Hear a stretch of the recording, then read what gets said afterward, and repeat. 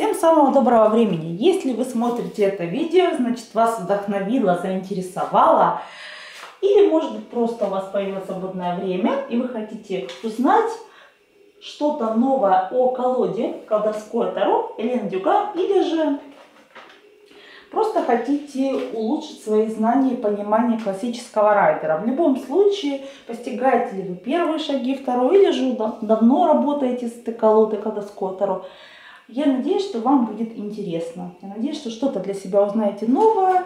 А если не узнаете новое, то я надеюсь, что вы поделитесь в комментариях, что вы можете сказать на каждой карте, о каждой стихии, о каждом аркане.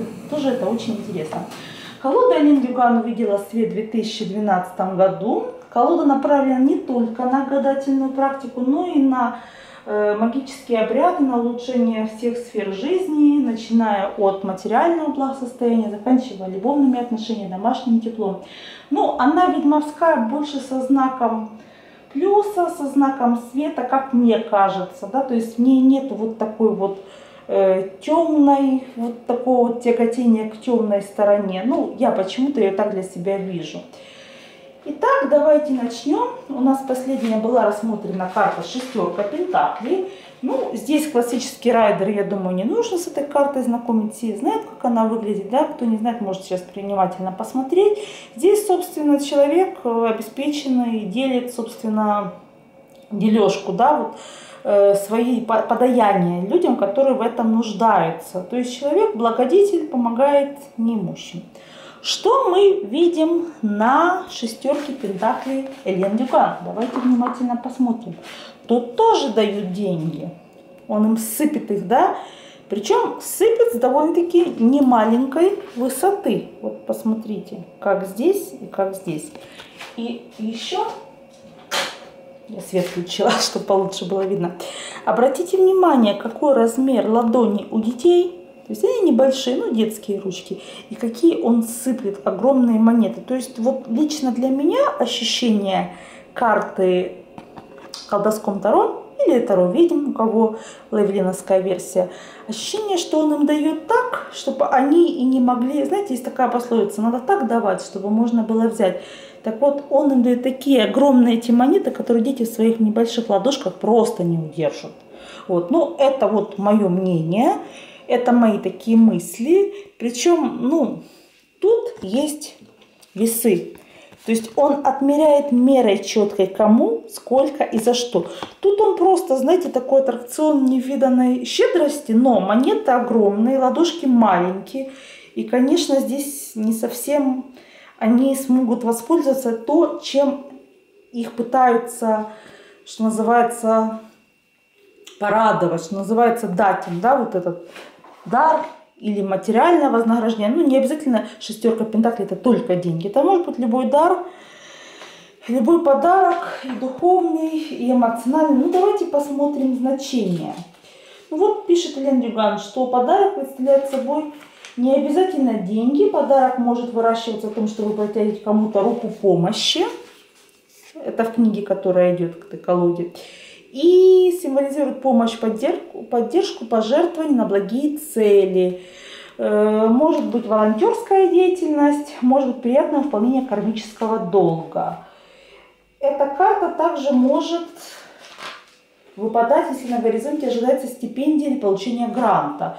Ну, кстати, получение гранта и стипендия сюда больше в тему, потому что возраст, собственно, молодой, в отличие от вот этих просящих людей, да, а тут именно э, молодые таланты, которым нужно, в принципе, помогать, вот.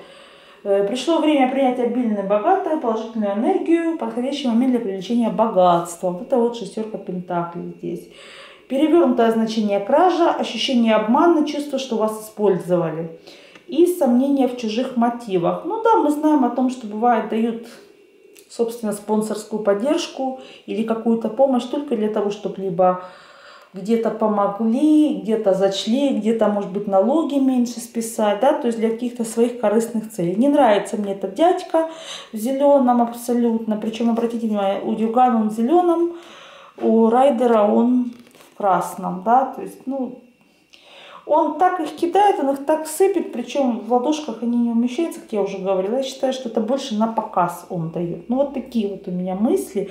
Опять же, если это карта с положительными, с тузом пентаклей, э, с восьмеркой пентаклей, солнышко, понятно, что деньги люди это получат, но вот именно одна карта, вот ее чистое значение, у меня она с получением прибыли и денег, лично у меня, именно в этой колоде не монтируется, не складывается, что он вот дает действительно деньги, дает какие-то огромные пластины, да, огромные монеты.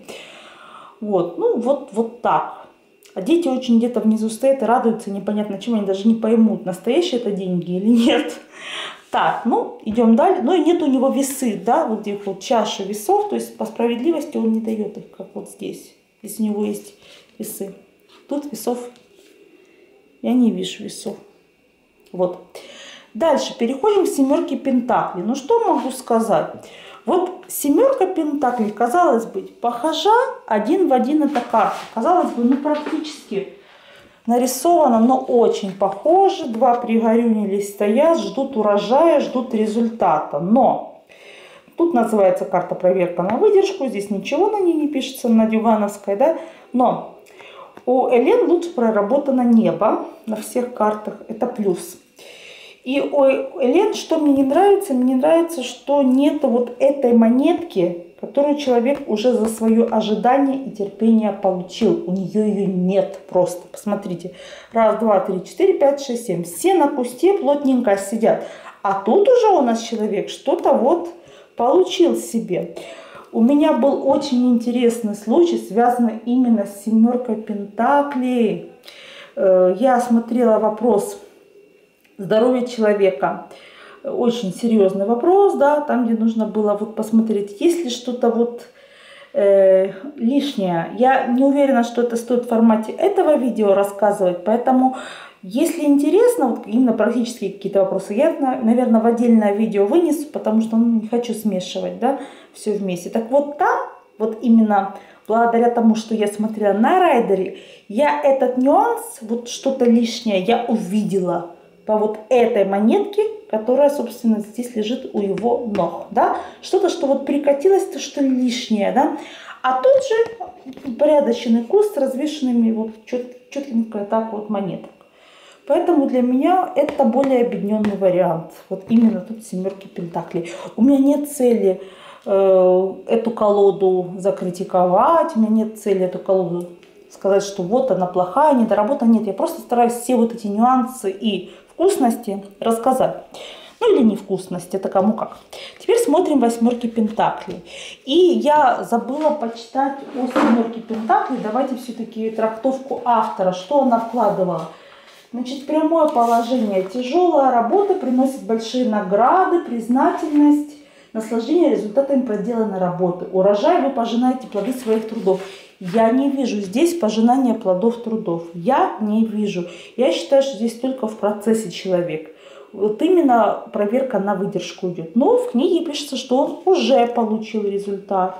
Уже благодаря его выдержке он получил то, что желал. Ну, интересно послушать вас, мои зрители, как у вас проигрывает семерка пентаклей у Декан. И переходим к восьмерочке пентаклей. Значит, что у нас здесь? Ну, тут уже человек это не человек с тройки Пентаклей, который первые разы магичил, что-то пытался, да, мы помним, эту карту рассматриваем. Там молодой маг пытается что-то пробует, что-то постигает. Я сейчас эту карту вытащу, все-таки, чтобы она тоже у нас была. Вот он пробует, тут и зелье, тут и какие-то непонятные свеча, и кот сидит, свидетель.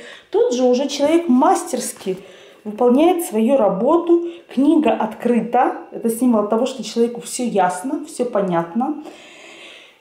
И плюс тут уже и череп у нас лежит заготовленный. Это и материально человек уже получает вознаграждение за свою магическую работу.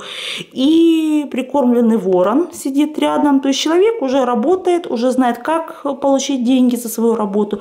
Человек практик, магический практик. И человек, в принципе, знает, что ему надо. И еще метакарта работает как работа по ночам. Работа сверхурочно, работа мастерская работа. Вот. И, ну, посмотрите, как здорово, что здесь 7 монеток, здесь вот это вот одна последняя, восьмая монетка у него в руках. Я считаю, что это здорово. Вот. И я считаю, что он ее получил, он ее не будет отдавать, он ее протирает. И, собственно говоря, эта карта показывает человека, в принципе, тоже экономно. Он не разбазаривает, он зарабатывает, и он не разбазаривает полученное. Вот. Э, что можно сказать о восьмерке пентаклей здесь?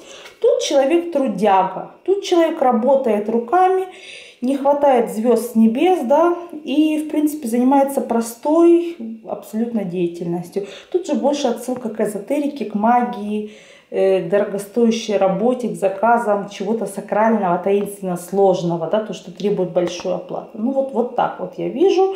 Но здесь мы не видим ног нашего человека, мы не видим, ну вот Человек сидит, да, но вот ракурс вот такой вот. И работы руками здесь нет. Здесь именно работа интеллектом идет больше. Э, тоже интересно послушать, как Элен, сама автор, эту карту нам представляет. Да? Давайте посмотрим. Значение восьмерки пентаклей.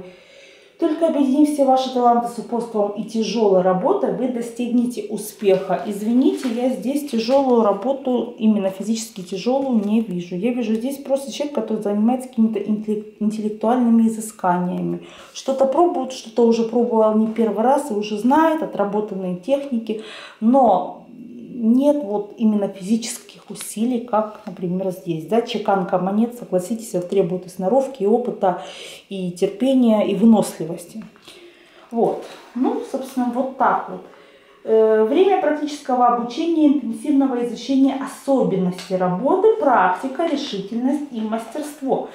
Ключевые значения трудолюбие, мастерство, сосредоточенность незавершенное дело, проект, который подходит к успешному завершению. Перевернутое положение, отсутствие обязательств и амбиций, задержка завершения проекта.